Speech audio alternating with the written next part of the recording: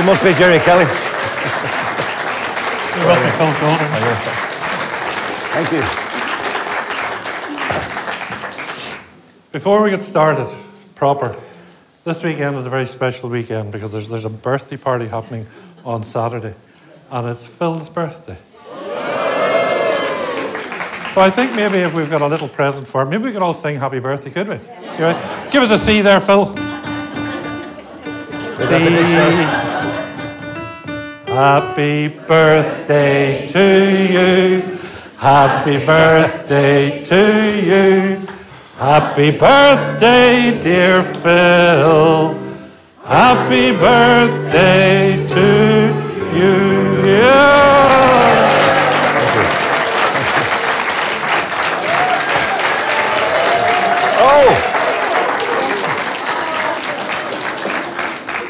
You've one Gerry candle Kelly, to your blow out. knows no bounds. You've one candle to blow out. Sorry. I should go out. Hold on, we got another photograph of Oh. that. The world's press is here. The world's press is here. Where's the world's press? There. Now, what you're not going to believe is the age of Phil Coulter. It's written along the bottom here. He's 80 years of age. Can you believe this man is 80 years old? All true. All true. I'll leave it there, Phil. I'll leave That'll it there.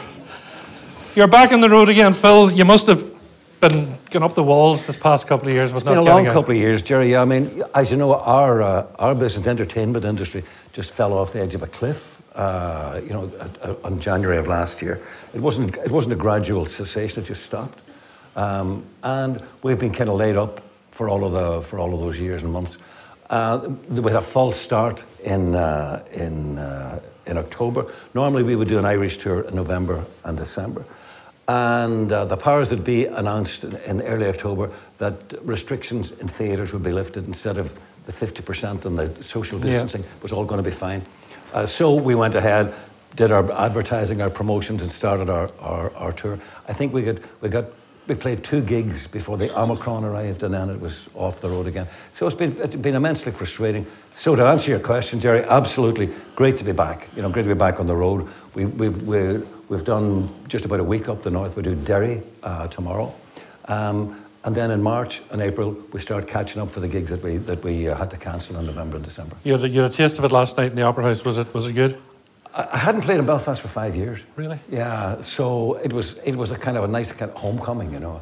Uh, the Opera House is very special, very special. And since they've, they've done that refurb, it's, it's, it's one of the best theatres in, in, in the country now. Um, but I was reminded of, of, of the glory days when the whole tranquility thing was exploded. Uh, that we used to do a, a run of a week in the Opera House, yes. a week at a time. They were the glory days. But I was, I was happy to do like one sellout last night. Because, you know, right now, there's still a nervousness, Gerry, about, about the whole COVID thing. People, um, certainly people of a certain age have got a reservation about putting themselves in harm's way. And there's a nervousness about people coming to, to concerts. But, so I was all the more, all the more delighted that we, uh, that we had the full house last night. You're going back to your hometown tomorrow night. You're going back to Derry doing the Yeah, that'll be a bit of a riot. Is that yeah. special for you? Going- Oh God, yeah, Yeah? yeah, God. I mean, to be honest, this is the absolute truth. I would be, I'll be more nervous going on stage in the Millennium Forum tomorrow night than I would be going on stage in, the, in, in Carnegie Hall. Really? What is this? A prophet in his own town's never recognised? All of the above, you know, and maybe the expectations that plus.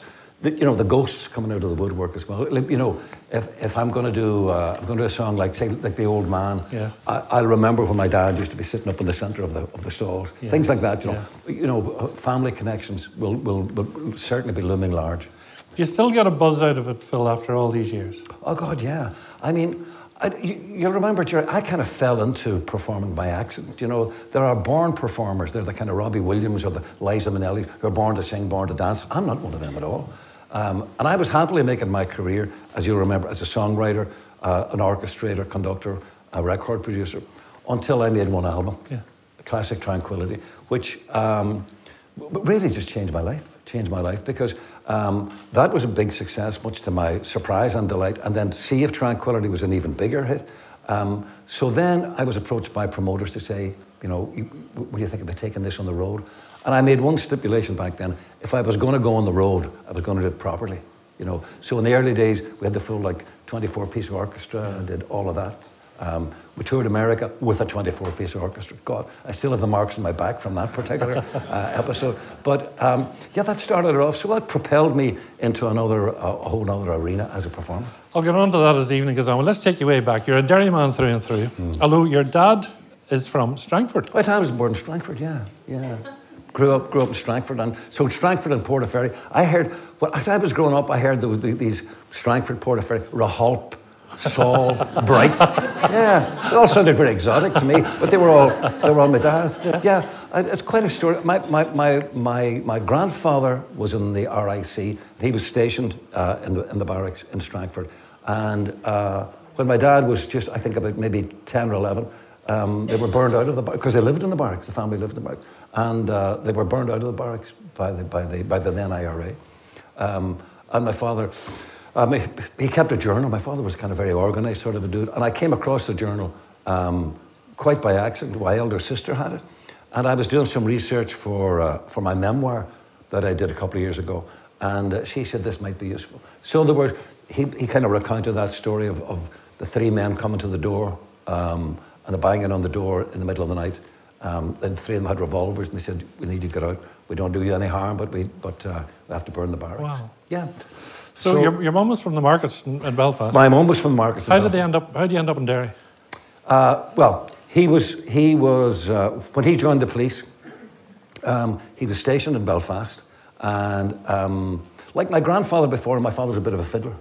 Uh, I have one grandfather who was a blacksmith and another one who's a fiddler. I think I'm, I'm more of a fiddler than a blacksmith, frankly. But uh, um, so my father inherited bit of that. He wasn't, he wasn't like a great player, but he loved. I, I tell you something very important. When I was growing up uh, in our house uh, in Derry, our little terrace house, whenever there was an occasion for what they call in Derry a big night, yes. it would happen in our house. Yes. Um, and my, uh, my, my, father would play the fiddle, and my mother would vamp along on the piano, normally in a different key than one that my father was playing in. But it didn't matter. What was important was they were enjoying the music, people in the house were enjoying the music. So that was a great lesson for me to learn that music was something more than just a subject that you studied at school or that you did in the, in the annual music festival or that you sang at Mass on Sundays, that it was a living, breathing thing. Yeah. Uh, so th- they, met, they met in Belfast um, and they, they, they married shortly after. And then my father was, was, was posted, um, first of all, to Bellaghy. When, well, there, was, there, was a, there was a rule that as a, as a married cop, you had to move from wherever you were, wherever you were based. and That's it. So Bellaghy, my father couldn't even find Bellaghy on the map. And that, that's long before Seamus Heaney made it famous, you know. So, so they lived there for, for a couple of years. And I've often thought, oh, thank God they moved from Bellaghy to Derry because my only, my only chance to, uh, to, to, achieve any kind of notoriety or fame would have been as a Gaelic football player. and I don't, there was very little chance of that. So they moved to Derry, um, five kids, and I was the, uh, I was the, I was the fourth. You're the fourth. Your father was one of the very few Catholics in the RUC at the time. Did, yeah. did that present any problem at all in, in Derry? Strangely enough, he, ne- he never brought his work home. I mean, we were, we were aware of the fact that certainly in my teenage years, um, there, was that, there was that awareness that things were, things were not right, you know, with the gerrymandering, with uh, the housing, the jobs, etc. And there was a movement to change that. Um, but uh, although my father was, as you say, one of the, one of the few Catholics in the RUC, he was, he was the kind of neighbourhood Bobby, you know. He was the kind of guy. I can remember, uh, uh, like a, a, an endless uh, supply of people coming to the front door looking for Sergeant Coulter to sign forms or to talk them through some bit of officialdom. You know, they were claiming, you know, was whether was health coverage or this that. So he was as much that kind of community Bobby as anything else.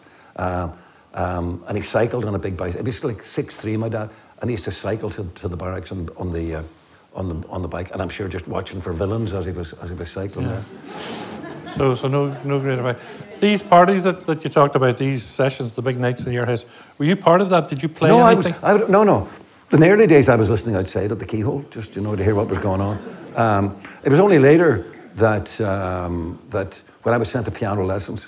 Uh, of, of, of all, we, all, as kids, we were all sent to, to piano lessons. Um, um, I would love to tell you, Gerry, that it was a love at first sight with me on the piano. It wasn't. Really? Oh, Jesus, no. I have to tell you, I hated the piano. I hated scales, I hated exercises, five finger exercises, arpeggios, but most of all, I hated my piano teacher. yeah, he, used to, he, he was one of the old school, and he used to stand there uh, with a ruler, right? And if you played a wrong note, you got the crack. So to this day, to the, or you see, when you sit at a piano, uh, people imagine that you play, you know, with your fingers like that. That's that's you're supposed to play. It's the tips of your fingers that are supposed to hit the keys, yes. right? So to this day, fellow pianos will watch Hammond play and say, "You've got a very high stance." That's just because of the ruler. really, I, I do. Um, but I, I, no, I didn't. I, so I was, I was so bad. I mean, I was, I was not making any progress at all. I just, I, so I was, I was supposed to practice for half an hour every day in the, the parlor, you know, the good room, which was kept locked, except when I went in to practice piano or when the priest came, got a cup of tea, that kind of stuff. Otherwise, it was locked. And all the good bits of furniture were in there, including a clock that I think uh, my, uh, I think a well-to-do uncle had bought it to my, to my parents when they got married. And it used to chime on the quarter past and half past. So I had to do a half hour practice every day, right? So if I went in, I'd say four o'clock, I had to wait until bing dong for half four before I was, I was off duty. I got an idea. If I put the hands forward, that bing bong's going to happen a bit earlier. So I, can, I could cut the half an hour and maybe do 20 minutes. So I got away with that for a surprisingly long time um, until one day I broke the clock, finally. And my father came back from, uh, from duty um, and my misdemeanor was duly reported. And I got a thick ear for breaking the clock, uh, which, was, which, which, which, is one aspect of it. My father said, if you're not making any head with the piano, um, we can barely afford these lessons, so let's forget the whole thing. Oh. And inside, I heard this wee man going, yes. And that was it. I was taken away from piano lessons. I was then maybe nine, ten. I went up to some columns uh, when I was 11, 11 and a bit. But in the inter- intervening couple of years, I had, I had become I began to learn how to pick out little tunes on the piano from listening on, on, the radio. I can remember, I can still remember the first tune that I could play because it was all up the black notes. It was called Buttons and Bows. East is. East, that's all black notes. Yeah. So I was playing little tunes like that. And By the time I got up to St. Columb's, uh, now I was curious. Now I wanted to know, that's all fine and dandy. What happens down here? What do you do with this hand while you're playing? you can't play that forever. Someone got to. So I wanted to learn. Best motivation at an early age, uh, when you when you want to do something. Yeah. You know, yeah. I wanted to know, I wanted yeah. to know more about it. Yeah. And I was blessed that I had a couple of great teachers, uh, John Malseed and Redmond Friel. And curious enough, on Saturday morning after uh, we do the, the, the show in Derry tomorrow night, Saturday morning before we head down south again, I'm unveiling a blue plaque, one of those history plaques, to Redmond Friel my old music teacher oh, in Derry. Fabulous, yeah, fabulous, yeah, fabulous. which I'm very pleased about. So yeah, so but those couple of teachers were, you know, Gerry, I don't need to tell you that the, the, the, a great teacher can inspire kids. You know, what what they can they can they can inspire kids and to live up to their full potential and past their, their, their potential if they inspire them properly. And I was blessed, and I had um, Redmond Friel taught me about theory, theory and, and harmony, etc. And my, my, my practical teacher was John Malseed, who was, he had the great ability to, to instill facts into your head, etc., you know, and, and just had that ability to, to, to convey, um, you know, the discipline of music, but at the same time, Redmond Friel, when he sat down and he would say, somebody give me a tune, he'd say, uh, the Sally Gardens, and he would go, and just harmonize it off the top of his head. And I was fascinated by that. How he could just take a tune and just put, put an arrangement around it. Mm-hmm. And he was, he, where Malseed was very organized and, and, you know, giving you, giving you your, your, your, your, your disciplined kind of uh, progress to do on the piano, Redmond Friel just exuded music, you know. Mm-hmm. The music was pouring out of this man. So between the two of them, I had really the best of both worlds. And your father, of course, had a great influence on you. You wrote a beautiful song for him about the memories that you have of your yeah. dad. Yeah. Would you, seeing you're at the piano, would you play a couple of? Sure. This is you know when I when I I, I play this most nights when I'm when I'm on stage because uh, it's it's one of those songs that that um, I'm very lucky when I look back on on my on my songwriting career that you know I've had my fair share of hit records and stuff, but then there are just a handful of songs that are that are much more personal kind of songs, and this would be one of them. Um, I wrote this uh, for the Furey Brothers Um, I think it was 20 years ago, but Geraldine tells me it was 25 years ago, so yeah. she knows better than I do. So uh, it's uh, uh, the old man. Did your dad ever hear it? He did. He did hear. Yeah.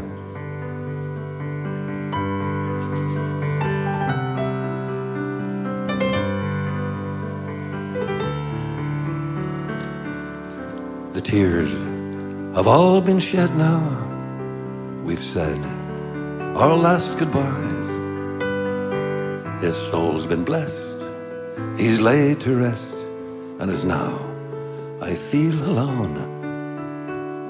He was more than just my father, my teacher, my best friend. And he'll still be heard in the tunes we shared when I play them on my own. And I never will forget him, for he made me what I am. And though he may be gone, memories linger on. And I miss him, the old man. Love that song. Love that. You mentioned the fact that around 11, 11 and a bit, you went off to St. Columb's, yeah. the, the, grammar school in Derry. Mm. How big a deal was that for you and indeed for, for the family that you were going into grammar school education? Um, even at that stage, even at that stage, uh, it was important um, in the Catholic community uh, they, had, they, had, they had got the memo that education was going to be the way that, that, that their lot was going to improve. So, uh, uh, a primary school, I was at the Christian Brothers. Um, and it was instilled in us, even at the Christian Brothers, that there was an exam you had to pass to get into your 11 plus number one, then exam to get into St. Columb's College, because that was, that was your route. And once you got out of the college, um, there, there, was, there, there was a, a, a twofold sort of a, of a, pressure. One was um, the ethos in St. Columb's was um, if, you're give, if God has given you a talent or if He's given you a set of brains, you have an obligation not to fritter that talent, not to fritter those brains away. And the sidebar was if you live up to your potential, if you study, if you, if, if, if you give it your best shot, there is the opportunity of getting a university scholarship and go to third level, which maybe nobody else in your family has ever done before. So that was the way out. That was the way that you could get, that you could improve your lot and that you could end up, you know, with, a, with better expectations in life, maybe that your, that your parents or your, or your antecedents had done. So in St. Columb's, that work, work ethic was really instilled in us, you know. Did you realise that, that, that that was expected of you? Oh yeah, yeah. I mean, certainly coming coming towards the the uh, what we call the senior certificate in those days. Um, you, there were targets that, that you that you know were set for you. If you were if you were among the kind of brighter end of the of the intake. Where um, were you? Uh, yeah. what a question, Gerry. I was one of the brighter ones. In fact, in fact, um, the academic thing, yeah. Colin was very, very important. Um, there was a on the on the on the on the results of the senior cert. One thing was was the university scholarship and that was that was target number one.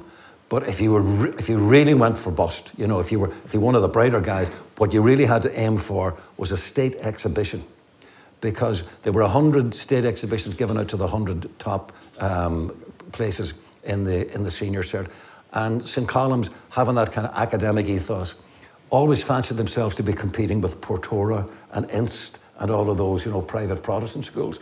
Um, that was the target. So, like, if you were if you were in the top end, not only get the university scholarship, that was kind of taken for granted. You got to get that. Yeah. But um, if you really get your finger out, and if you really work hard, uh, the university, the uh, the state exhibition. No, in, for, in my in, in, my case, in my first year in St Columb's, my my eldest brother, Father Joe, God rest his soul, he got a state exhibition. So that was setting the bar very high, you know, um, because our middle brother uh, Brian was a bit of a tearaway. So um, for, in the first, my first year in St. Colin, teacher after teacher after teacher well, young Coulter, you're calling another Coulter here. Are you going to be like uh, that your brother Joe or that other bloody tearaway, that Brian fella? So um, uh, Brian was probably more content than either of us, but I mean, he just got by, you know. but um, so the state exhibition became a, a target. Were you academic?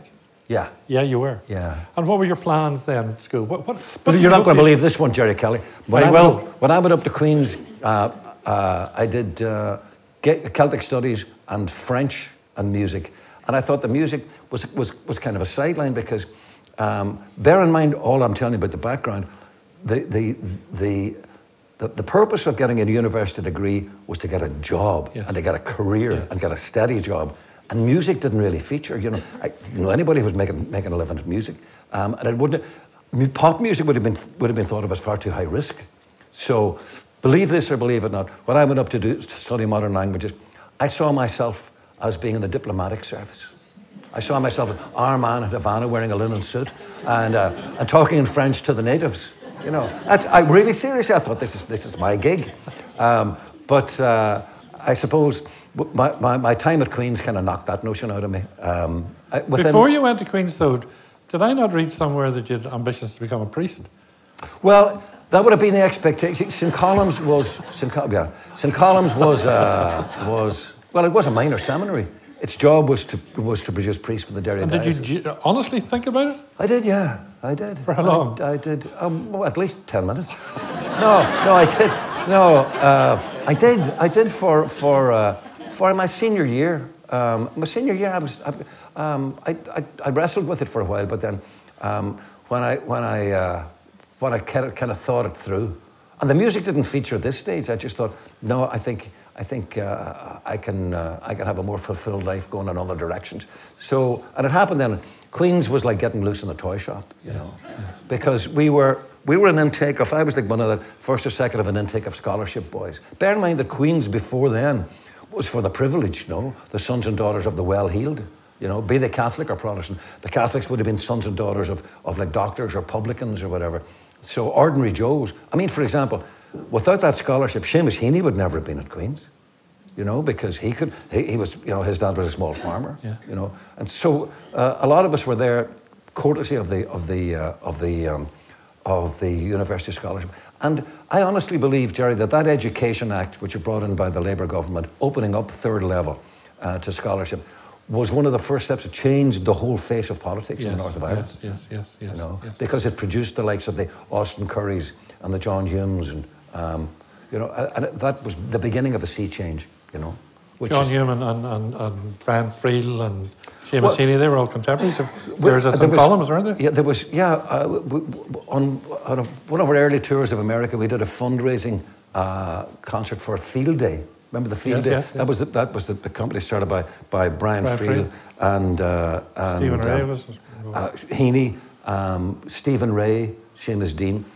Um, and uh, we did a concert in the Kennedy Centre as a fundraiser. And then afterwards, um, there was a kind of a post-show party in, in a smart house in, in Georgetown. And in that room, uh, for the one and only time since St. Columb's, uh, beside for myself, there was John Hume, there was Heaney, there was Friel, there was, there was Seamus, Seamus Deane, all of us um, uh, in conversation. And uh, I, it was one of those kind of situations where everybody was afraid to go to the loo in case they'd be talked about, you know. Uh, but, but again, just re- referring back to, to, to the conversation about St. Columb's, I said, th- there's a bunch of guys who've all gone in different directions and all with different talents, different, different abilities. But the one thing we all agreed upon that whatever fueled us in our, in our, in our, our journeys uh, was that work ethic that we got in St. Columb's. After Queen's, Hmm. what did you hope to do? Because you, you headed off to, to England. By that stage, by that stage, it was all music. By was all stage. music Oh yeah, because within within uh, my first uh, first term in Queens, um, with the arrogance uh, of, of and that kind of can-do attitude of youth, um, I went to a couple of student dance, dances. And bear in mind, this is a time when like pop music and show bands are happening all over the country. And uh, to my great disappointment, um, the first few dances I went to was like a, a sit-down uh, dance band playing playing orchestrations. You know, the kind of middle-aged piano or middle-aged musicians from the Musicians Union downtown who sent up these guys, and they've all got kind of tuxi- faded tuxedos with Guinness stains down the front, and the front, and it was all very kind of dull. I think, Jesus, do these guys not know that Buddy Holly and, and you know Fats Domino and Elvis Presley's happening out there? Um, so after after like a couple of months of putting up with that, Um, or there would be a few traditional jazz bands. That's fair enough, a bit of Dixieland. But the whole pop scene was kind of was was as if it didn't exist. So I thought, I'm going to start a band, which I did. And I'd never played in a band, but I thought something's got to happen here, and I, I, I have to be the guy to do it. So all, for all of my years in Queens, I had a band. What was the band called? Uh, the, well, it, believe it or not, I think the first band were called. I'm kind of ashamed of this. The Beatniks.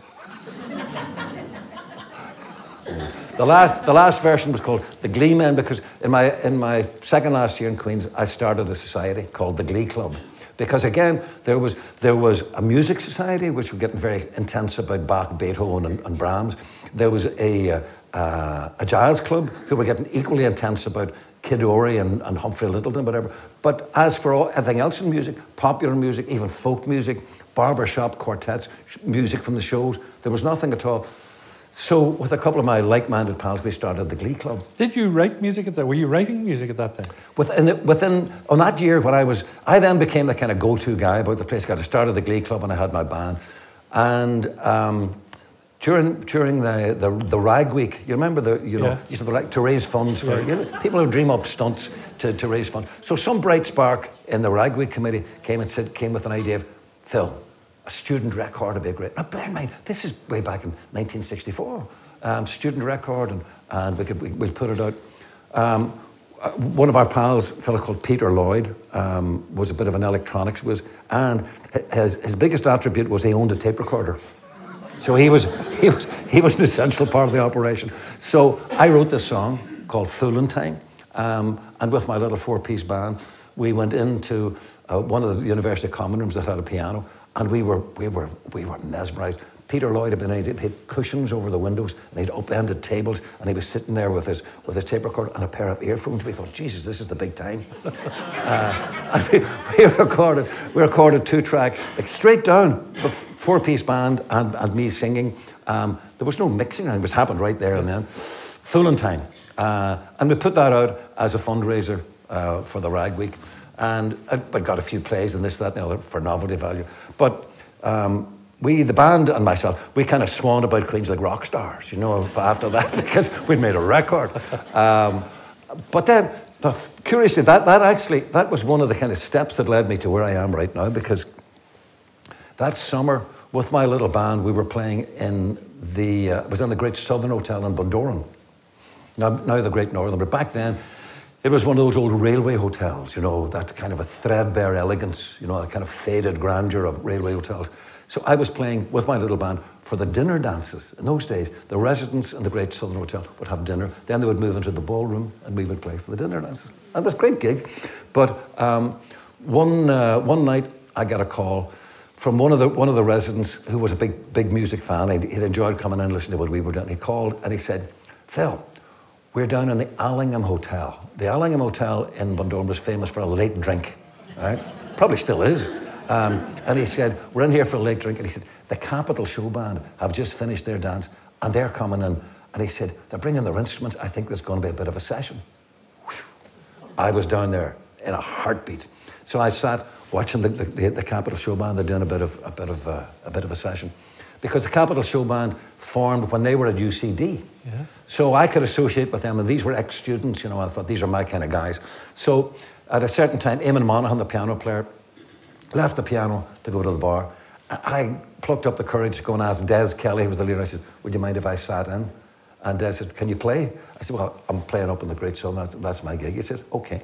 So I sat in with the boys, and I had the greatest time. I was playing with my heroes.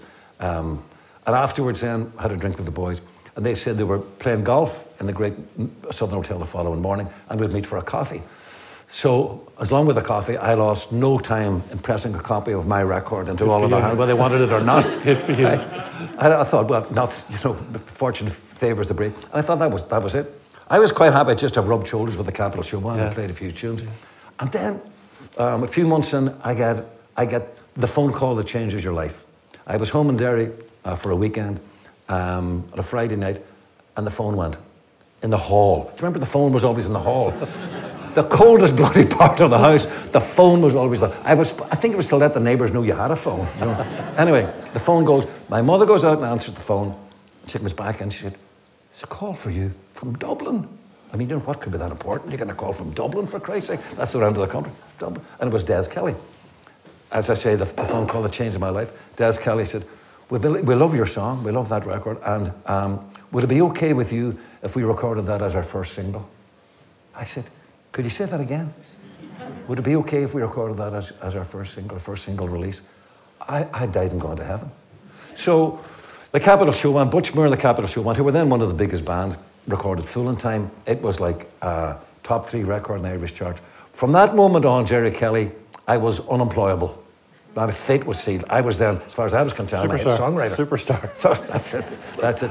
And Des, it was very kind to me. They all were. Uh, a few months later, he called and said, "We're going to uh, we're going to London to record um, in uh, in about four weeks' time."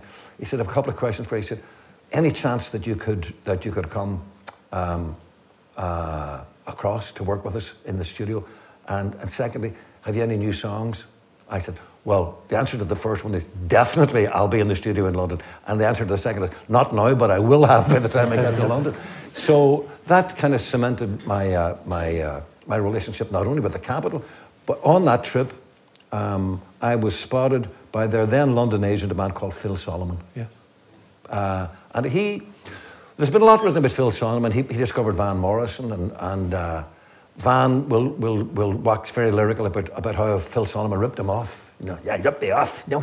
Um, uh, and Robin Aquinas, dangerous. Uh, Phil Solomon, dangerous. But uh, anyway, um, Phil Solomon, as far as I'm concerned, he, he had a great eye for, you know, for, for, for potential talent. And he spotted, I'm a rookie at that stage, I've done very little. Um, he thought, this, this kid here's got something. So he asked me who I was, what, what, what I was up to, etc. And the short, the, the, the short in the story, um, he offered me a job as a kind of a musical office boy. And I was gone. That was, that was it. I was there. Tell me about Tin Pan. You met Bill Martin out there. Yeah. You, you struck up a great twosome. Mm. I, you, I remember you telling me you worked in, in Tin Pan Alley. Oh, yeah. What was Tin Pan Alley? Brilliant. When I did, when I was doing the research for, for, for my memoir there a couple of years ago, and uh, in that kind of exercise, you know, you revisit that kind of filing cabinet in your mind, and you're opening up files that you don't look at every day. You know, you're, you're going back to, you know, back to the early days because you're going to have to write your, your life story. And the period in Tin Pan Alley, I, I realised after I'd researched it all and, and, and looked at the, at the, whole span, that was one of, that was one of the, uh, one of, the, uh, one of the, the periods of my life for which I have the greatest affection. Because why? Well, because I was learning my trade. You know, I was, I'd arrived in Denmark Street um, with a bunch of other wannabe songwriters coming from, from the provinces, you know, coming from Liverpool, coming from Birmingham, Scotland, whatever. Uh, all wanted to be songwriters. Uh, and there was a great kind of camaraderie. There was no jealousy. There was no envy. I mean, if one of us got a hit song, we all we all celebrated because we thought, well, Jesus, if he can get a hit, I can get a hit. Yeah. You know. But I mean, Um, this, this wasn't you writing in, your apartment somewhere in London songs. You were going into an office virtually at nine o'clock in the morning. This is where I learned my trade, Gerry, and you're absolutely right. It didn't. It, there's no such thing as a born songwriter. You know, you may be born with the tools. You may be born with a, with a, with a musical flair, maybe a good ear uh, and a flair for language. But you have to learn the craft. It's a craft. Songwriting is a craft. And any any any career songwriter. I'm not talking about some fly-by-night songwriter. Nowadays, it seems to be it's compulsory to put uh, slash songwriter after singer, singer dash songwriter. That's a lot of bullshit. You know, so I mean, I, I'm rec- most of those guys. I don't rate them songwriter. I rate songwriter some guy whose career has, has sustained. You know, over a lot, whose whose songs have been around for. I mean, here's the bottom line. I was asked this quite recently. How would you? How, what's a simple definition of a great song? Longevity. If a song's been around for 50 years, it's a great song. Yeah, yeah. If it's been around for 100 years, it's an even better song. Um, so the songwriting thing, it's a craft. And for three years, um, Bill Martin and I had a contract with Keith Prowse Music where every second Friday we went into the little a demo studio behind the post room, very basic studio. And a demo studio is where you make demonstration records, right? And we had the demo every second Friday, we had to demo six new songs. Every Friday. Every second Friday. Had Three new there. songs a week. They had to be there. It had to be finished. Uh, music, lyrics, and a little arrangement that I had to do for the four piece in house band. Six every second Friday, which meant three songs completed every week. Now, they weren't all great songs. Um, the following Monday, we would take the tapes in and play them to our, our publisher, our boss man, Jimmy Phillips, who himself had been um, a very successful songwriter, um, wrote, uh, wrote the lyrics to Smile Though Your Heart Is Aching, um, and discovered Lionel Bart, discovered um, Kennedy and Carr, who were the kind of Lennon and McCartney of the war years, wrote songs like South of the Border, My Prayer. You know Jimmy Kennedy yeah, from moment. Yeah. Um, so that was Jimmy Ken- or, or, Jimmy Phillips. So we would play our, our, our, our, new demos to Jimmy Phillips. And as often as not, he would listen to them and throw them in the bin. It's true. Because that sounds very cruel, I know. But that was a great lesson to learn. The, the, the fault, uh, aspiring songwriters at the early parts of their career fall in love with everything they write. Very clever I am. Look and uses many different chords, etc. You know, um, the wrong thing to do. You have to learn the economy. If you're writing pop songs, you know it's got to be three minutes. Jimmy, I remember one one particular day it stayed with me forever. I'm playing one, one of these these demos. Jimmy said, "Mr. Coulter, I know you've been to university. I know you, know a lot about music, a lot of chords." You don't have to prove it every time you write a pop song. and he called me over to the window. This is true, Bill out of the window. Denmark Street was a kind of busy little street that, uh, that leads on to Earl's Court or, or to, to, Tottenham Court Road. And there was a traffic jam. And there's a lorry down there. And um, Jimmy Phillips says, See the chap driving the lorry? That's who you want to bear in mind when you're writing a song. Not your university professors.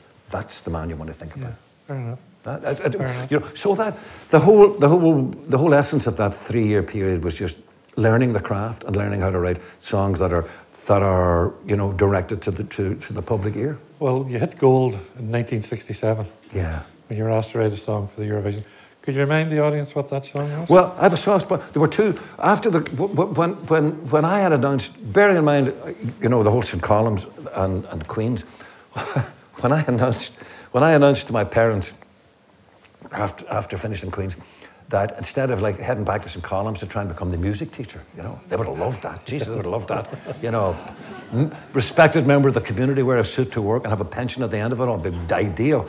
Um, when I said, uh, I'm heading off to London to, to try my luck in pop music, consternation in the, in the, the Coulter household, because my father, as we said, was a cop, very serious dude. He sat me down and he said, Mark my words, boy, this will all end in tears. And my mother, my mother, my mother was bombarding heaven. She was lighting candles and she was sending novenas and offering up rosaries that I wouldn't end up in the streets. So finally, finally, when I did get my break, I, I mean, I, I, really have a soft spot for these two wee songs because they not only got the bank manager off my back, they got my poor mother off her knees. I wonder uh, if one day that You'll say that you care if you say you love me madly. I'll gladly be there like a puppet on a string. You remember?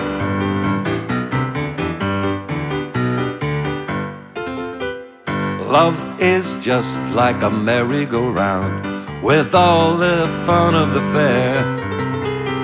One day I'm feeling down on the ground, then I'm up in the air. Are you leading me on? Tomorrow, will you be gone? I wonder if one day that you'll say that you care. If you say you love me madly, I'll gladly be there like a puppet on a string.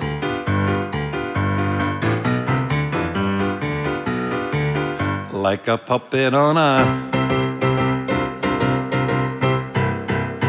Congratulations 1968, and celebrations when I tell everyone that you're in love with me. Congratulations and jubilations. I want the world to know I'm happy as can be. Who would believe that I could be happy and contented? I used to think that happiness hadn't been invented. But that was in the bad old days before I met you, before I let you walk into my heart. Congratulations and celebrations when I tell everyone that you're in love with me. congratulations and jubilations. I want the world to know I'm happy as can be. Yeah. oh, yeah. That, that song, it's, it's, it's the other half of Happy Birthday to you, isn't it? Oh, yeah, that's. You must make a fortune from that song. Well, my wife Geraldine is out there, and she can bear she can bear me out on this. That's a song which has fed, clothed, and educated several of our children. Uh, yeah, no, that's that's what we call every songwriter heading off in his, his career. Uh, the ambition is to write a pension song. You know, a song that will just keep going. You know, And that's it. that's one of mine. Yeah, That's one of them. I, I could. I, oh, that's, that's just one of them. well, I could, I could do with a bag full of them. You never get too many of those boys. uh. Each of those records, they sold over 10 million copies. Something of that nature. In those days, Gerry, you have to bear in mind the Eurovision meant something in terms Yes, of the records. yes, you know, yes, yes. Uh, it was it was what it says on the tin, a song contest. Yes. Not anymore. So, how, how did it change your life? Oh, completely. Um, because well, I spent two years, you know, uh, knocking on doors and, and doing those demos for, for Jimmy Phillips and not really getting very far. So this was, I think we'd we'd picked up a few kind of B sides and maybe the odd the odd uh, album track, nothing to set the world on fire. Um, but to arrive on the scene as a songwriter by winning the Eurovision Song Contest for the first time for the United Kingdom, you know, um, was a big deal. It was announcing your arrival. Hey, this Yeah. this this is your songwriting team. These guys know what they were doing. Um, and so back in those days, you could put the kettle on for five, six, seven million records, you know, if you won the Eurovision Song Contest. So um, having, having uh, but I have to confess, having done that, uh, we, we kind of got carried away. You know, the, the, uh, the six songs uh, every two weeks get kind of put in the back burner a bit because they were out and bought new suits and kind of were swanned about.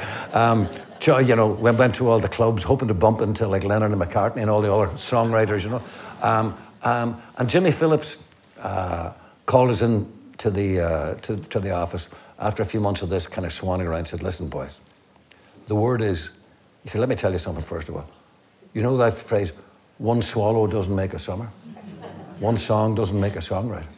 He said, the word of the street is you guys are flashing the pan. Oh, did that hurt? Did that hurt? Yeah. To this day, it hurts. You know, I, I can still hear him say it like, she's a bastard. Um, so, flash in the pan. So anyway, I can remember Bill Martin and I adjourned to, to the Red Lion, which was the pub in the end of Denmark Street. Said, this is, we've got to do something about this, boss. I'm not going to be written off as a has-been. So he said, but Martin, what are we going to do? I said, tell you what, we're going, we're going to win the Eurovision again. He said, oh, for Christ's sake. I said, we're going to Eurovision. So that was our target. So um, I get, shortly afterwards, BBC uh, invited uh, entries. They had nominated Cliff Richard, who was going to represent the UK, and they invited songs to be to be submitted. Now we we thought in our arrogance, well, listen, we won it last year. We should get a free ride. Yeah. yeah we get get in. Let Cliff sing one of it. No, no, boys, go to the back of the queue. So all of the songs were submitted anonymously, including the, the, the Bill Martin, Phil Coulter song. Congratulations. We were just like with the with with the with the rank and file. Um, and Cliff Richard sang it over, over six Saturdays, and then Joe Public voted. And congratulations, we just kind of ramp, romped home. Then in the, uh, in the actual grand final in the Royal Albert Hall, we were, we were I think, mm, six points ahead with one country to vote. Yeah. So much so that the stage manager had come down to, to Bill and I in our seats in the Royal Albert Hall to get us backstage to go on and to, to accept the reward. Bill Martin was notorious, Scots, he was notoriously, um, uh, he, he just, he, believed in good karma and bad karma. He thought this is going to be very bad luck. You know, this is like very superstitious, Bill. He, he was refusing to get out of his seat. He said, no, we're tempting fate. But the guy nearly dragged him out. So we're standing backstage um, as the last country votes. All of a sudden, we get no votes, and Spain gets seven votes. Nobody had given us no votes at all up until then. So we were gobsmacked. So we lost by one point. Uh-huh. We lost to a song called, called La La La. Great song. Great song. I mean, I mean, I mean, so while, while congratulations went on to become a bit of a standard, La La La rocketed into obscurity. It's never heard of since. Yeah, you're laughing at la la la because you knew then that your life wasn't going to be about Eurovision Song Contest songs. You were looking at the charts because that's where that's where the money was to be made. Yeah. And you got to know the Bay City Rollers. That, yeah, that And up- did you write a song called Sha La La La La? better than that. I wrote a song called Shang a Lang, oh, uh, which, which uh, actually my favourite.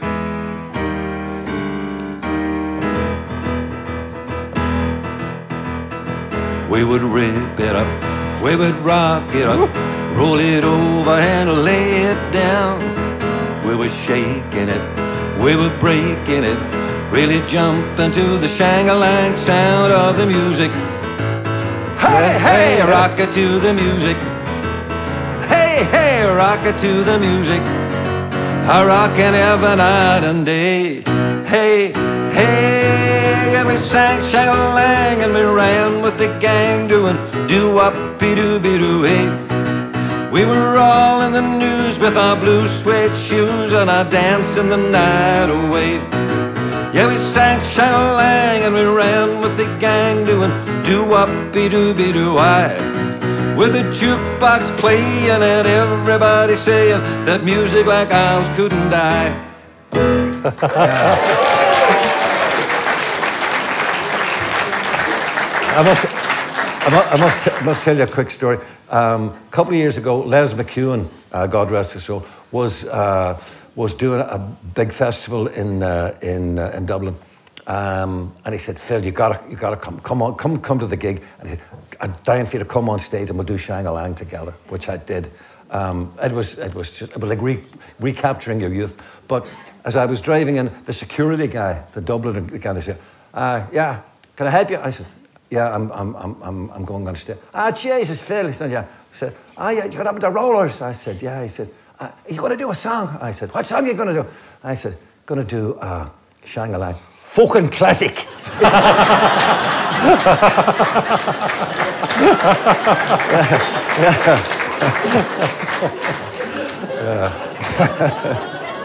classic is right. At that time, you also got involved with a band called Slick. Well, we had a Midge Ure- stable. Midge Ure yeah, we, was- we had a stable. Um, the, the, because we were so aware that you know how, how- passing that thing is. That, that there's no loyalty amongst Teeny Bopper fans. You know, um, so even when when when the Rollers were were high in the charts and we had like five straight top three records with them. We always knew that that wasn't going to last, so we had to have like a backup. Yeah. Um, so we had, our, the, the next band we had was a band called Kenny. Um, we had a bunch of hits with those, the Bump and Julie Anne and Yeah, da, da, yeah, da, da, yeah, da. Um, and then as they were fading, we had the next band were called Slick, and you're right, Midge Ure. Mid-year, we had a we had um, a number one record with uh, with with uh, with Slick called Forever and Ever, um, and they. They only had the one hit and they disappeared. Sadly, Midge, Midge of course, came through as a member of Ultravox Yeah, and then Live Aid and Band Aid. And Band Aid thing with with with, uh, with, with Bob Geldof. But um, Billy Connolly tells a great story and- because it kind of leads on from this. Um, Slick were managed by a man called Frank Lynch in, uh, in, in Glasgow. And uh, when we were sitting at number one with Slick, uh, Frank called me and he's very sort of polite Glasgow, you know. I said, uh, Phil, just to I say, congratulations on the, on the number one record. We're very thrilled about that. Good man, Frank. Um, but I, I just I need a favour. I said, what would that be, Frank? He said, I need you to produce an album with another artist that I'm, that I'm managing up here. I said, oh, yeah. Yes. I said, who is he? He said, called Billy Connolly. I said, never heard of him. What does he do? He said, well, he's really a, he's a, he's a folk singer, really, or he was a folk singer, but he tells, you know, he's funny as well, tells, tells, tells gags in between the songs. I said, Frank, are you having a laugh? I said, you know, Slick are number one on the chart. I've got to get another follow up for them. I'm, I'm making an album with the Bay City Rollers. They're sitting number one in America. You want me to come up to Glasgow to record a folk singer that thinks he's funny? so, so anyway, Frank kind of, Frank was very persuasive. You know, that's why he was a very successful manager. Reminded me that he was the manager of the act that I had at number one on the charts, and a favour would, you know, wouldn't go astray. So anyway, Billy actually tells this story. Um, uh, under sufferance, I said, okay, I'll go up and record a couple of nights in the King's Theatre. He was doing, Billy was doing a run of the week. And Billy tells a story where um, he was about as impressed with me as I was with him. You know, this kind of hotshot London producer coming up to tell him what to do and stuff. And I just didn't want to be there. So uh, I go up and Billy tells a story. Yeah, he says, Coulter came up and he said, he said, uh, we, uh, we kind of circled each other like two dogs. he says, I was a bit of. And he said, Phil was yeah, very kind of smart and all member of the plan. He said, he's scarf around his neck and very neat about the arse. yeah. So, um, so we did all the kind of checks on the microphones, etc. And then I go out uh, into the mobile studio. It was the, the, the, Rolling Stones truck that we were using. And I've got my stopwatch and I've got my clipboard, etc. Billy Connolly comes on. And within five minutes, I'd thrown away the stopwatch, thrown away the, the clipboard, I'd just lay back laughing. I thought, this is the funniest guy I've ever heard in my life. Really? Because that humour, you know, just struck a chord. For me, there was a great parallel with our kind of humour. You know, that very, very kind of edgy Northern Irish humour. Um, and I thought, this man's the funniest, funniest guy I've ever heard. And all these years later, I still think he's the funniest yeah. guy ever. Are you you still still friendly with him? Oh God, yeah, yeah, we're still staying in touch. It's sorry to see him the way he is at the moment, isn't Yeah, we we uh, Geraldine and I called down to it was January before last. He's down in Key West, um, which is kind of about as far down south in Florida as you can get. It's it's like a little island further south, so it's not on your way to anywhere. You know, yeah, yeah. there's no passing train. Yeah. People don't pop in as their way to LA. You know, so Billy's down there. Um, it's worked for him because you know he's a very he's a very laid back lifestyle. You know he wears the kind of the t-shirts and the shorts and the and the, and the flip flops, pats about and does a bit of fishing, does tai chi two mornings a week. I said, tai chi? I said, Billy, your secret is safe with me. I'll not tell anybody that. anyway, um, so we didn't know really quite what to expect because uh, the previous time I'd seen Billy, um, we went. Um, he, he, was playing in, in Dublin in the uh, in the, the O3 Arena and we had gone to dinner the night before with some of the old dogs, Shay Healy and Paul Brady and, uh, a bunch of us. And Billy was then not in great shape, but the shakes were pretty bad. Uh, we're, we're an Asian restaurant, um, a very fancy Asian restaurant that gives out the menus. And the maitre d' comes over, gentlemen, Ah, oh, you're very welcome. Uh, anyone that like a chopsticks? Billy says, you having a fucking laugh?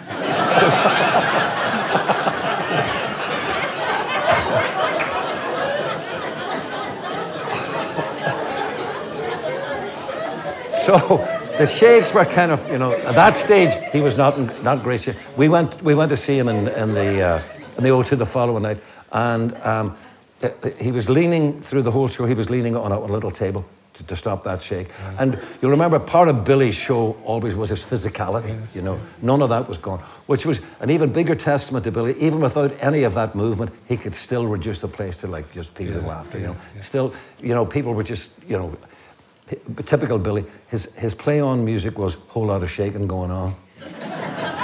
yeah.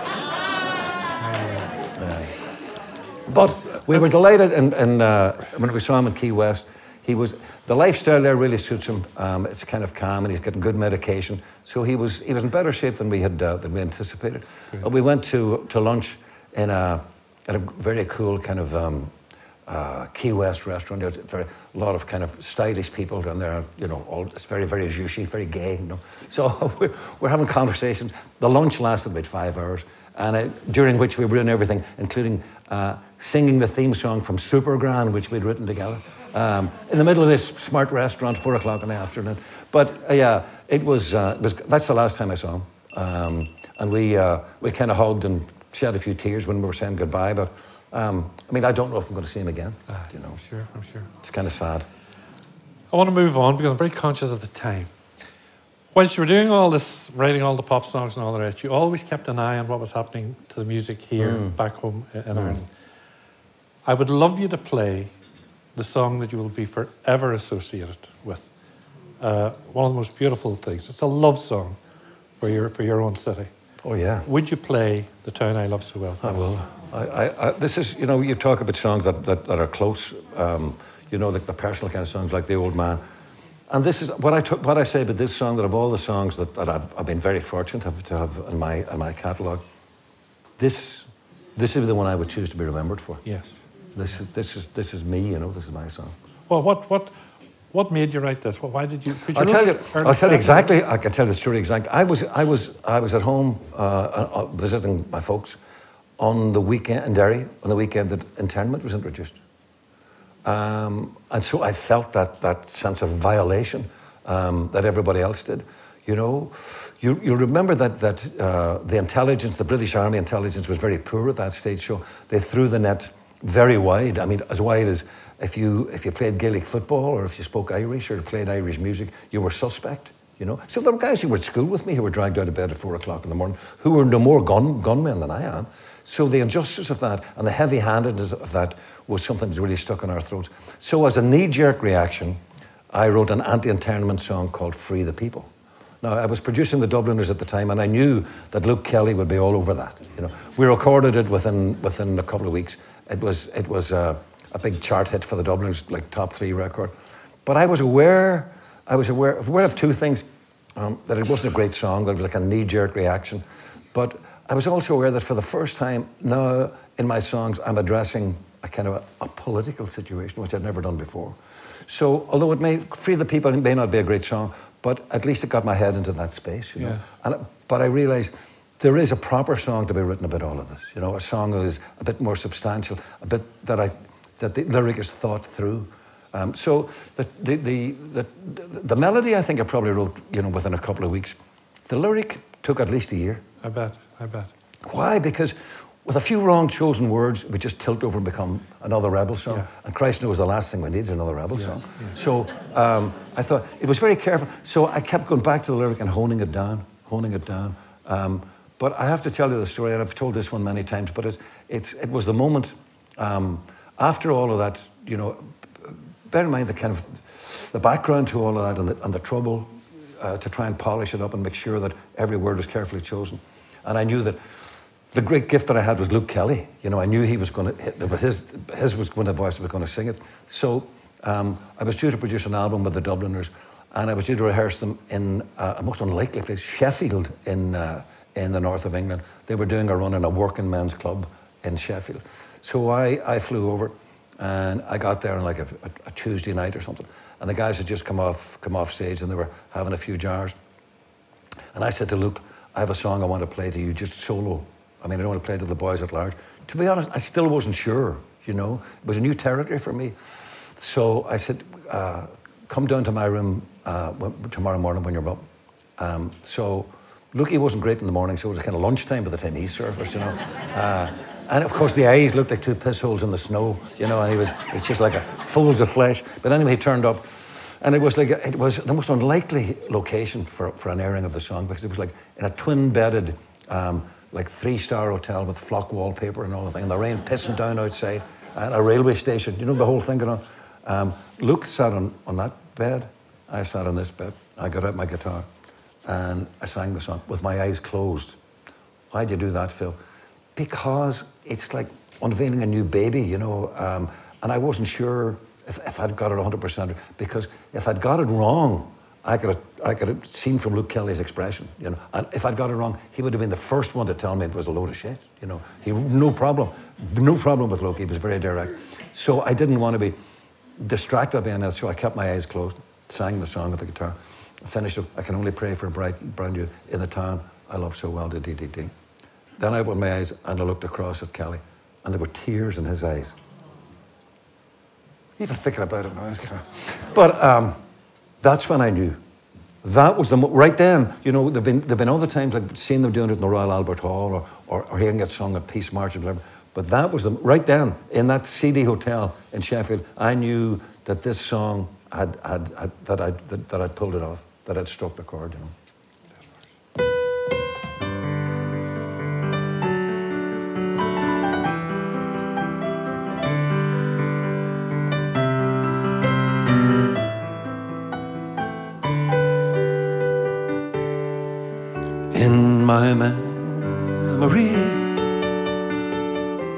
I will always see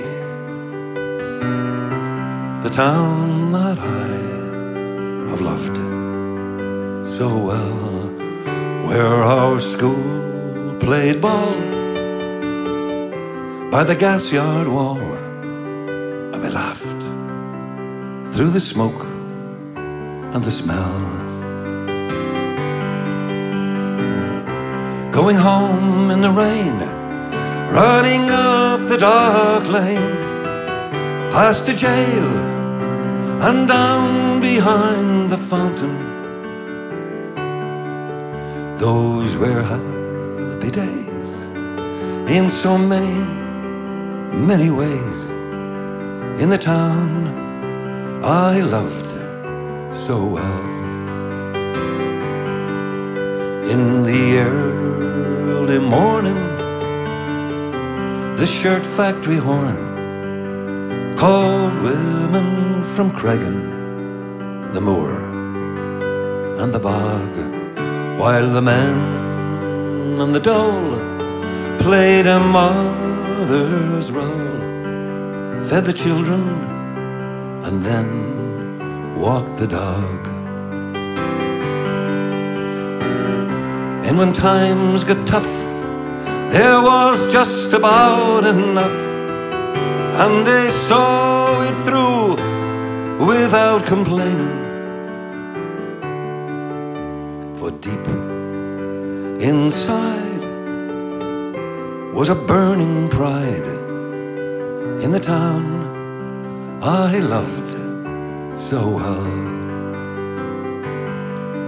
There was music there in the Derry air, like a language that we all could understand.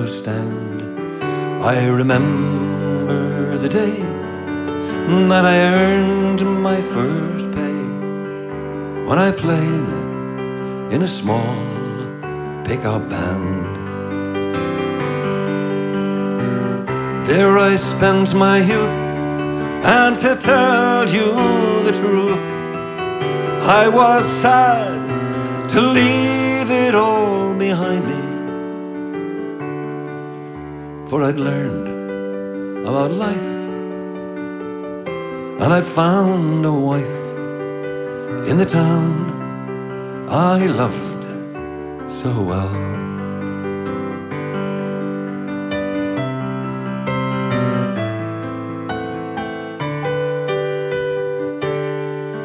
But when I returned, how my eyes have burned to see how a town could be brought to its knees by the armored cars and the bombed out bars and the gas that hangs on to every breeze.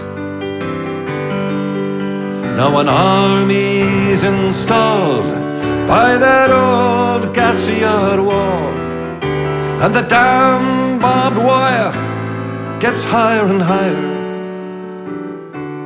with their tanks and their guns. Oh my God, what have they done to the town I loved so well? Now the music's gone, but they carry on, for their spirit's been bruised, never broken. They will not forget but their hearts are set on tomorrow and peace once again. For what's done is done, what's won is won, and what's lost is lost and gone forever. I can only pray for a bright brand new day in the town I love so well.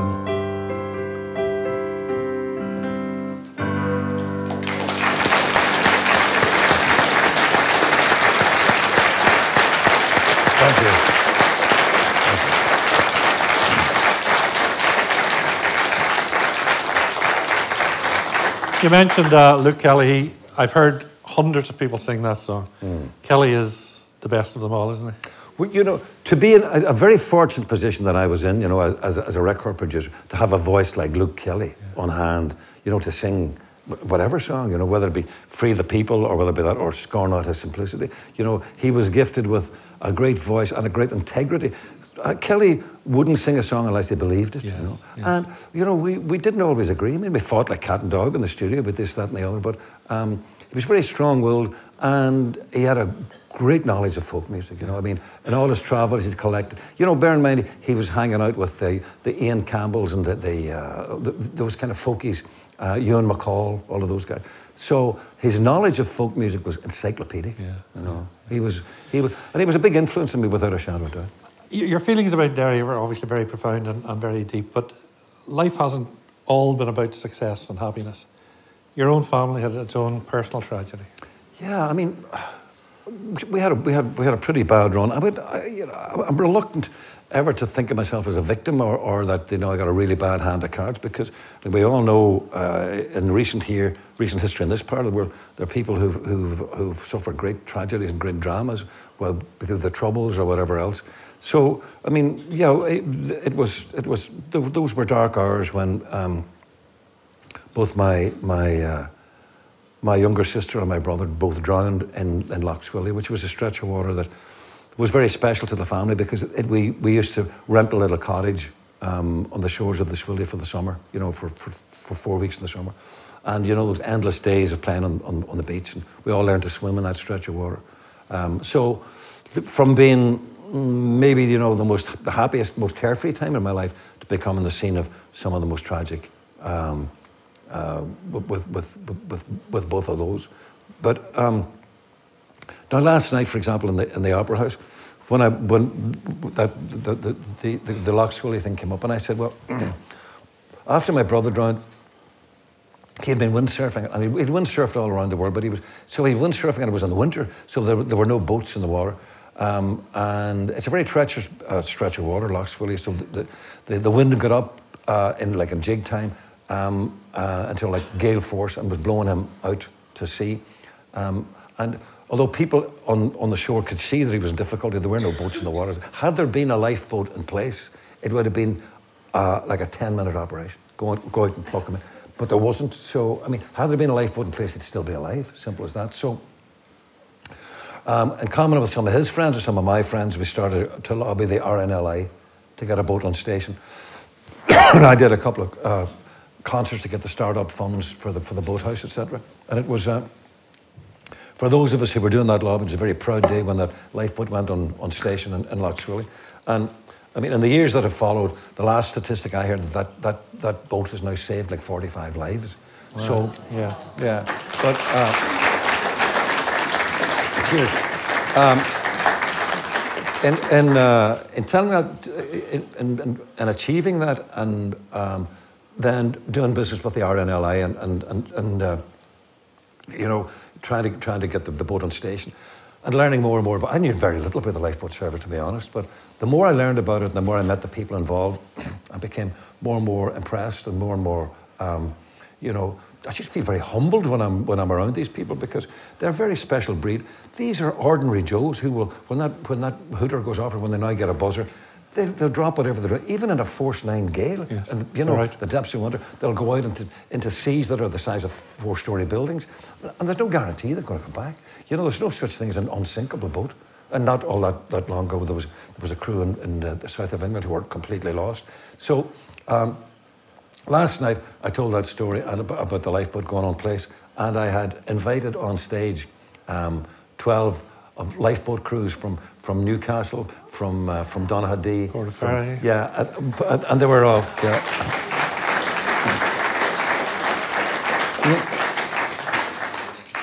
It was, and they came on stage in the yellows, you know, and, and we sang the song. Well, one of the things that I did, um, apart from doing the, the, the startup uh, uh, concerts, I thought, you know, people should know more about the, about the lifeboat thing. So I, I could write them a song. And here's a song, I'm, I'm immensely proud of this song. Again, it hasn't sold a million records, it doesn't matter.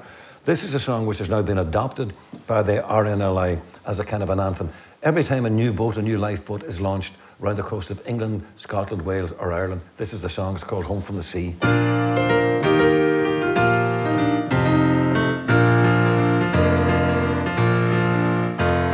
A cold winter's night, with a storm at its height, the lifeboat answered the call. They pitched and they tossed till we thought they were lost as we watched from the harbour wall. Though the night was pitch black, there was no turning back, for someone was waiting out there. And each volunteer had to live with his fear as they join in a silent prayer. Carry us home, home, home from the sea. Angels of mercy, answer our plea. And carry us home, home, home from the sea. Carry us safely home from the sea. I remember doing that on the Kelly show with Liam Clancy. Yes. That was 1989. It can't be now, Gerry. I'm not old enough Either, to man, it wasn't me either. Uh, you, you, have, you have a natural knack for writing anthems. The most recent one, and you did this, in- no, you didn't do it in the Kelly show, you did it in the Late Late Show. Do you remember that night? Oh, God, yeah. Never forget it. This is, You were doing your Jeremy Paxman, I think, that night, yeah. There's a private joke between him and I, and he knows what I'm, I know what he's talking about, he knows what I'm talking about. Yeah. Anyway, shoulder to shoulder. How did it come about? Were you uh, Ireland's call? Were you asked to do it? What were you asked to do? Because this is Uh, the argument I had that night. There had been an uncomfortable situation um, for many years. Uh, and it was, it was, it, I think it, it uh, Big Willie Anderson was telling me the story. He was in the Irish, in the Irish squad, uh, the first World Cup, Rugby World Cup down in Australia. And it, it, it happened shortly after um, that car bomb at the border, which, which killed a High Court judge and, and maimed a couple of the rugby players and finished their, yes. finished their rugby career. So it was felt that uh, the soldier song might be just a bit, uh, you know, inappropriate, given that it was only a matter of weeks beforehand. So thought, well, oh, what can we do? Billy, Big Willie said he suggested Danny Boy, but somebody said that they had a, an, they had a cassette of James Last, and so for the for the anthem in, in Australia, they played James Last playing the Rose of Tralee. That so that was that was the all-time low. I mean, it's a great tune. It's not you know it's not a great tune that you want to go to war on. You know what I mean? It's that, that kind of so. Um, that, that kind of it kind of dawned on the on the powers that be in rugby that they should maybe address that situation. And it's you know a simple situation. There, there was that kind of uh, uncomfortable situation for, for, for lads from, from the north, uh, from the unionist uh, from the unionist community. And I, as I've been explaining to people, you have to understand it in the north. Rugby in the main is, is, is a game that is played in non-Catholic schools. In the main, I mean, there are exceptions, but in Catholic schools it'd be either GA or, or soccer. So it, it, it therefore means that Ulster rugby players in the main are, are from the unionist, the unionist community. And for them, uh, their perception is that, that uh, the soldier song is the Irish national anthem, but it's not the British national anthem. They think of themselves as British, and that's they're totally, totally entitled to that. You may not agree with it, but you certainly have to respect it. So um, the, they finally, the, powers that be in, in the IRF, they thought that they should maybe confront this. And I was called in. I think the smartest, the smartest move they made, made was in asking somebody from the north to write the song. Yes. Because I'd be aware, you know, of the sensibilities. Uh, and that was the commission. We want you to write an all-inclusive, you know, those were the buzzwords at the time, hands across the border, all-inclusive, etc. A song which can be comfortably sung by players um, and supporters alike, be they from the north or the south. Um, that, was, that was my brief. Um, and again, you know, the, the, the tune came readily enough within the first couple of weeks. Then the hard part was the lyric because, um, you know, it's, it's supposed to be all inclusive. Therefore, there are certain words that just, I mean, for example, I couldn't say, and united we'll go forward. People, oh, no, no, no. you, know, you know, and you couldn't major on the green forever. Oh, I mean, and the 24 counties. No, no. So I, I had to find a way around that. And I, I, I, that was a bit of a block for, for quite a while until I came up with the four proud provinces of Ireland, because it's a provincial game anyway, and that kind of includes um, all north, south, east, and west, and nobody could take exception to that. And that, once I came up with that, was the kind of key that got me into the, into the rest of the lyric. And I remember it was the most bizarre audition. I mean, normally when you play a new, a new, piece of music, a new song, it's for you know, a record company executives or maybe an advertising agency if you're written a jingle for like, you know, Bird's Eye Fish Fingers or something. But this was like a table of blazers, you know. What's it? And, I'm, and I'm, I'm, I'm, I'm, we, we, we, we had done a demo of the song and uh, reached out, gave them all out the lyrics, and they're all sitting or clapping in the wrong beat and stuff like that. Oh, Jesus Christ. Um, uh, and the only, the only dissent, they liked it, thanks be to God. The only dissenting voice was, uh, was the delegate from Cork. He said, I, There's something wrong with this song here. What's it? I, I don't hear Cork mentioned at all. I said, Jesus, I can't, can't mention every. So um, that was his only beef. But uh, so then they said, "Oh, this is this is great. Well, the crowd will be singing this in no time." I said, "No, boys, listen, you've got to be real. This is not this is not going to be. This, they're not going to fall in love with this. This is." Uh, they said, "Why not?" Said, they said, but sure, the, the, soccer crowd have got, have got the fields of Athenry. The difference is that's been a hit for Paddy Reilly for years. But people know that song. It's been sung in pubs like forever and a day. We're asking them to sing a brand new song. They've been happily singing Molly Malone like for years. And like as a race, we don't like to be told what to do, and we certainly don't like to be told what to sing. You know. So I thought this is not going to be easy, and so it proved. You know, there was a kind of there was a lot of begrudgery. There was a feeling that it was some kind of a northern plot. Yes. You know, to usurp the, the, the Irish national anthem around the vein.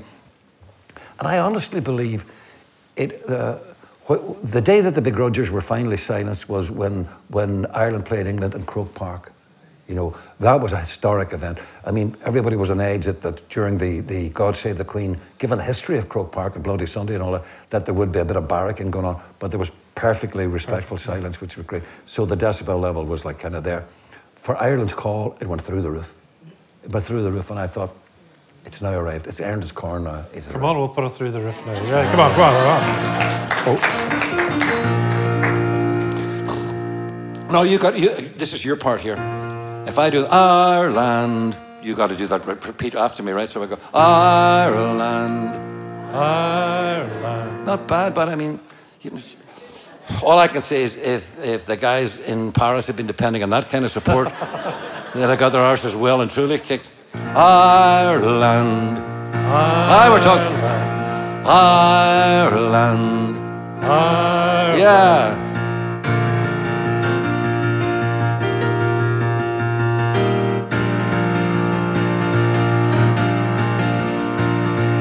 Come the day and come the hour, come the power and the glory. We have come to answer our country's call from the four proud provinces of Ireland. Come on. Ireland, Ireland, together standing tall, shoulder to shoulder shoulder to shoulder. We'll answer Ireland's call. Yes, we will. We'll answer Ireland's call. Yes. Yeah. Let's see.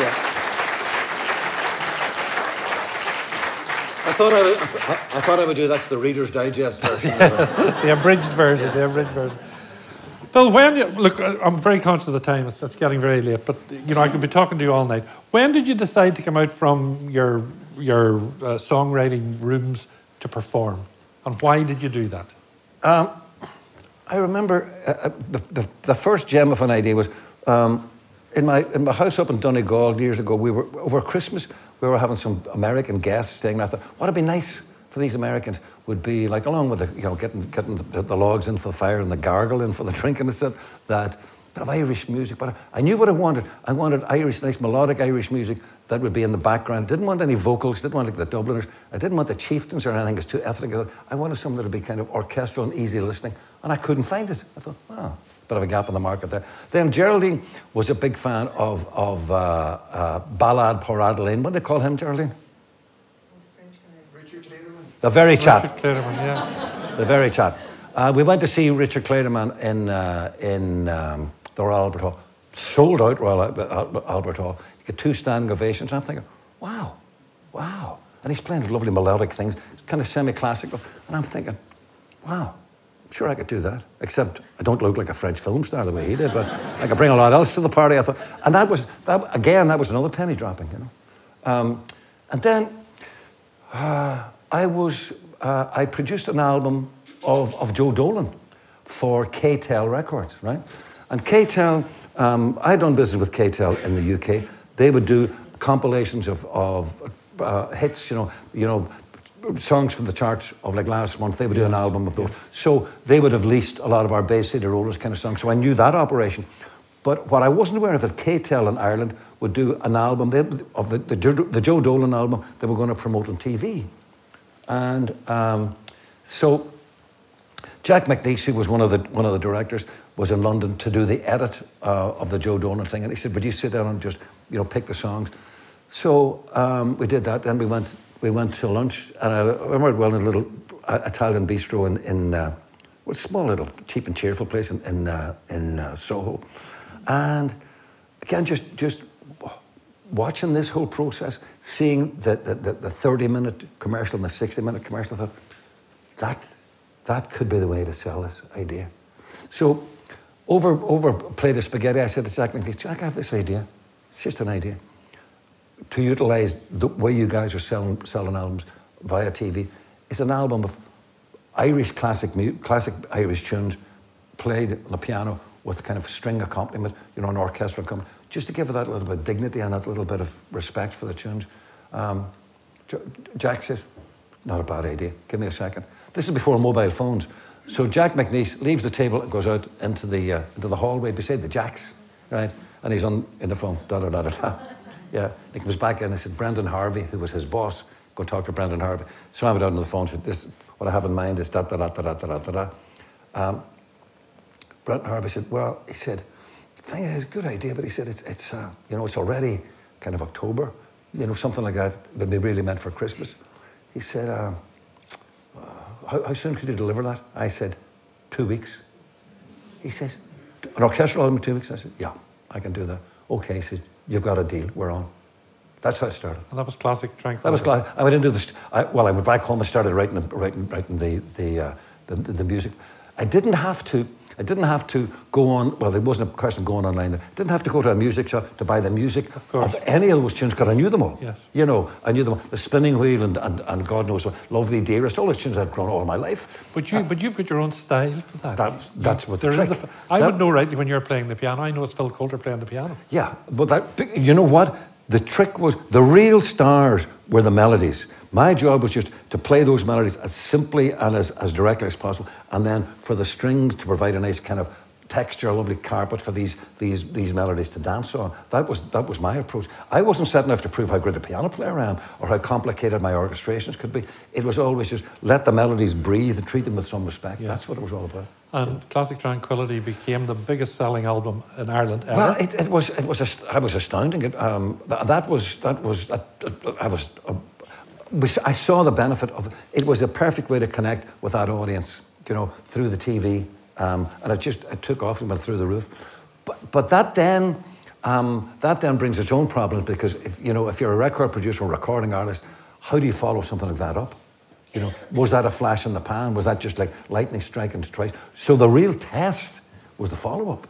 That was a real, and I had to think even longer about the follow up. And here was the thing: the temptation would have been because uh, classic Tranquility was, was was such a big hit the, the temptation will be, well, the next one, we'll get a bigger orchestra and we're going to Abbey Road. And we'll, you know, we, now, that we've, now that we've got all these royalties, we'll really go gung ho. No, no, that would be a big mistake because, as you have said, there is a sound, there's an identifiable sound. It was in a cheap studio that I made that. I made that. Um, so we went back to the same studio, same musicians, and made Sea of Tranquility, which outsold classic yeah. Tranquility. Yeah, and play, that was, play, play, play a wee bit in the Phil Coulter style from, well, from one of the albums. Um, I'll play what what afforded me the opportunity as well. Once I established that, to write not only to to to to to, to, to play the likes of you know Danny Boy or the Spinning Wheel or, or, or Carrickfergus, but it afforded me the opportunity to write uh, melodies within that kind of style, lyrical, you know, melodic ones. So, for example, when I was collaborating with James Galway, um, here's one of the things that, that, that, that, I wrote. Again, it's kind of very melodic, very tranquility. Um, this was inspired by that period in our history, the wild geese Remember when Irish soldiers, having been defeated by the English, would often serve with great distinction in the armies of Europe? They were known as the wild geese. So this was Lament for the Wild Geese.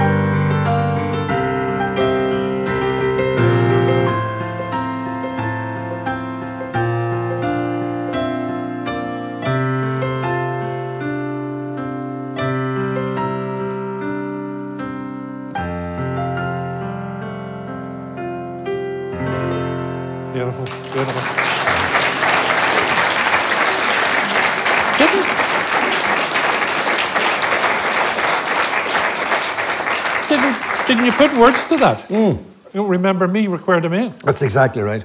That's exactly right. I was doing after I'd written that. A few years later, I was I was producing an album by the Celtic Tenors. Yes. You know, one of those three-handers.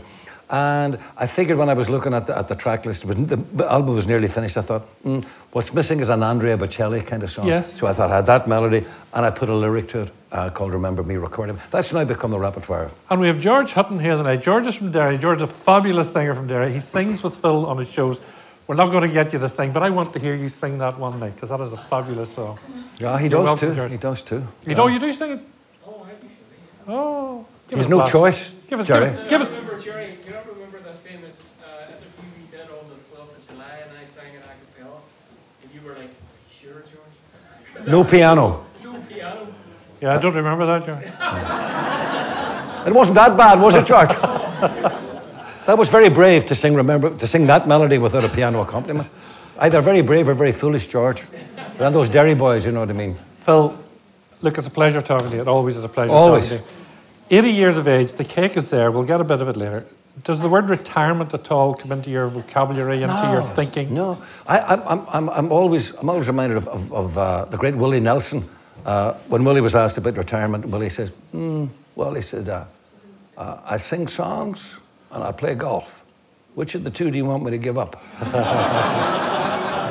No, no, it hasn't. It hasn't. Uh, it I mean, I think, I think until uh, until uh, I think if I retired, uh, number one, I'd be getting under Geraldine's feet all the time, and she would have none of that. So I mean, that's that's not an option. That's not an option. But no, I still, you know, I still enjoy it, and I still. Uh, Thank God I have the health and the energy to do it. Yes, You know, it's something you'd never take for granted. Absolutely. And that's that's uh, um, touch wood. I, uh, there's one song that I've never heard, and I'm going to ask you to play it for us because now that you're 80 and you're an old man and all the rest, there is a song, and I have it here. You wrote it for um, your woman Byrne in Dublin. What do you call her? That one.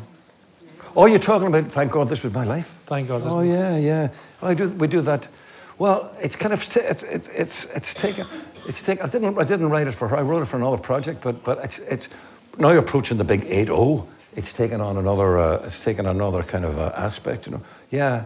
It's you know when you get on that reflective frame of mind, looking back on, on all of those years and all of those songs, etc. Um, th- that's that's what kind of inspired me to come up with this. Will I do it for you, Gerry? Would you please?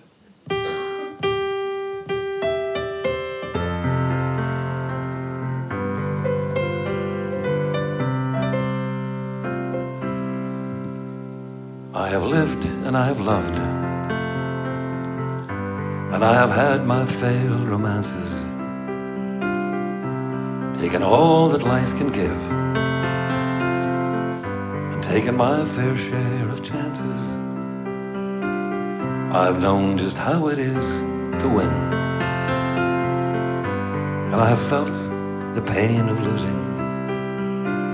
Some paths I chose would end in tears, but they were all my own choosing. It's been a good life, far from the high life, and I thank God that this was my life. Some days I prayed would never end, but there were days I felt like screaming. But through the darkness and the fears, nothing could ever stop my dreaming. Been a good life, far from the high life. And I thank God that this was my life. I've known contentment in a lover's arms and felt the warmth of her devotion. And I've known heartache and a dark despair that was as deep as any ocean.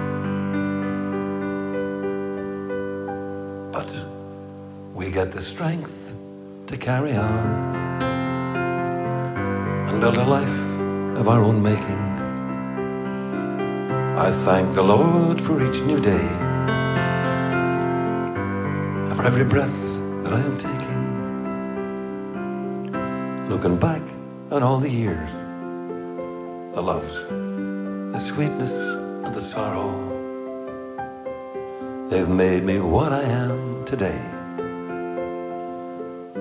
And I'd do it all again tomorrow. It's been a good life far from the high life. And I thank God that this was my life. We can't deny life, how it flies by life. And I thank God that this was my life.